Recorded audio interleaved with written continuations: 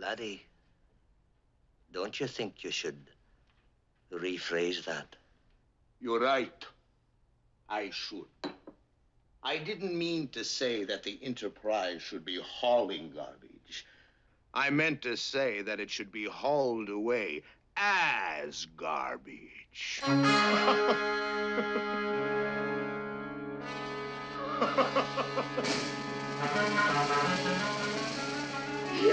Oh!